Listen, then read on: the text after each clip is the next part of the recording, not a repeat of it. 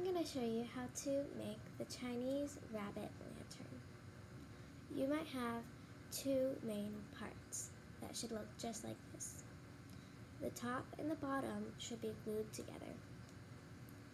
Then you'll have something like this. You might notice the two other parts. But before that, you can probably get some sort of one of the fake white candles or the plastic white candles that you see around a lot and you can put those inside of a small hole inside of it. And you can even turn it on if you like to.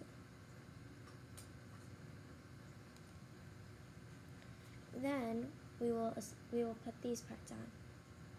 We can put the cap on first and you can see it just slides right in. Then for this part, I recommend using some sandpaper to sand up some of the parts because this is kind of hard to slide inside otherwise. But you might see this and you you might be thinking, do you carry it like this?